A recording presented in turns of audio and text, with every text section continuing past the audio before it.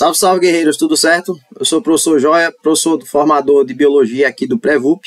E no vídeo de hoje, pessoal, eu venho trazer para vocês esse esquema aí, tá muito comum nas questões aí do Enem e com uma temática muito importante para vocês que vão prestar o Enem esse ano.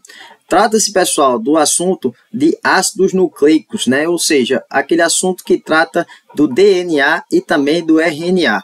Então, inicialmente, pessoal, é importante que vocês percebam a diferença dessas duas moléculas, onde o DNA, como vocês estão observando aí em cima, é uma molécula em que ela tem essa dupla hélice, né? São duas fitas nucleotídeas que estão aí emparelhadas. E o RNA é uma fita simples, né, de nucleotídeos, como vocês estão vendo aí em cima.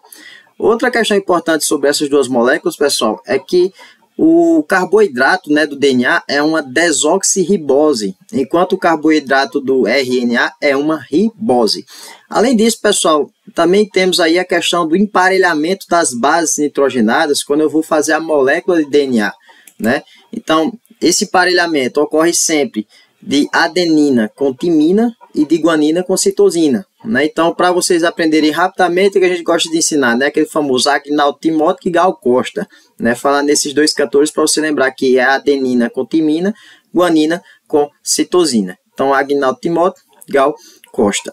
Com isso, pessoal, a gente pode entender o seguinte: o DNA ele é a principal molécula participante da reprodução dos seres vivos. Então, para isso, ele duplica-se, né? ele usa esse emparelhamento das bases para fazer a sua duplicação.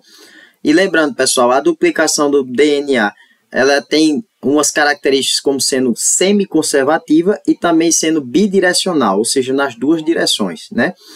E o RNA, pessoal, né, assim como também o DNA, eles participam da síntese proteica, né, que é a produção de proteínas, moléculas muito importantes para o nosso corpo e para a vida dos seres vivos, né? Essa síntese proteica é dividida em duas etapas, né? A primeira etapa, pessoal, se chama transcrição, como vocês estão vendo aí em cima, onde eu vou pegar o DNA e fazer uma molécula de RNA.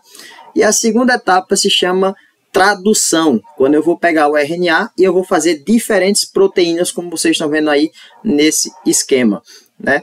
É importante, pessoal, vocês lembrarem que primeiro eu vou transcrever a mensagem para depois traduzi-la em uma proteína, né? em mais de uma proteína. Com isso, pessoal, a gente percebe o seguinte: a nossa, o nosso DNA ele é o mesmo em todas as células do nosso corpo. Né? Todas as células do nosso corpo têm iguais moléculas de DNA. O que é que diferencia, pessoal, as características das nossas células e o que é que diferencia esse DNA? São as regiões que são ativas, como vocês estão vendo aqui em cima. Para fazer uma proteína A, né, como vocês estão vendo aqui no esquema, que é específica para uma região do corpo, eu tenho uma organização desses chamados exons, né, que são regiões que codificam proteínas. E para fazer uma célula diferente, né, por exemplo, de um, de um cérebro, por exemplo, eu vou ativar diferentes regiões e fazer uma proteína B. Então, pessoal, é o mesmo DNA, contudo, eu ativo regiões diferentes dele e organizo ele de maneiras diferentes para fazer células diferentes por todo o corpo. Esse assunto, pessoal, é um assunto que cai muito tá, nas questões do Enem e é importante vocês estarem atentos a todas as informações sobre ele, beleza?